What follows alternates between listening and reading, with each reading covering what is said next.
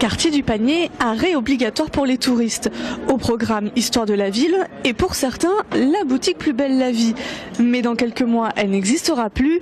Une nouvelle difficile pour son propriétaire.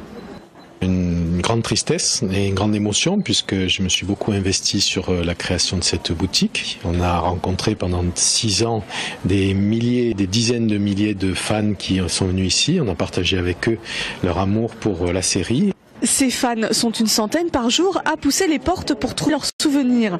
L'été, ils peuvent être jusqu'à 1500, alors certains ont commencé à se mobiliser. Une page Facebook est créée il y a 4 jours. Elle rassemble plus de 600 personnes. Dans le quartier aussi, on a du mal à accepter la fermeture.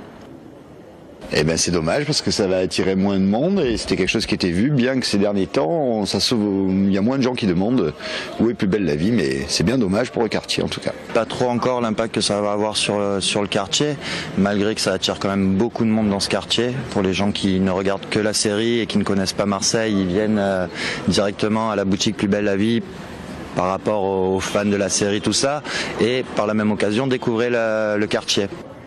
En face, le bar des 13 coins qui a inspiré celui de la série. La fermeture de la boutique, le patron ne s'en inquiète pas trop. Le quartier du panier ne vit pas que par rapport à ça, mais c'était effectivement un plus important, je veux dire, dans le quartier. Donc c'était une clientèle supplémentaire qui, qui faisait du bien à tout le monde. Une page du tourisme va se tourner, mais avec ces lieux historiques, le panier verra toujours ses touristes flâner.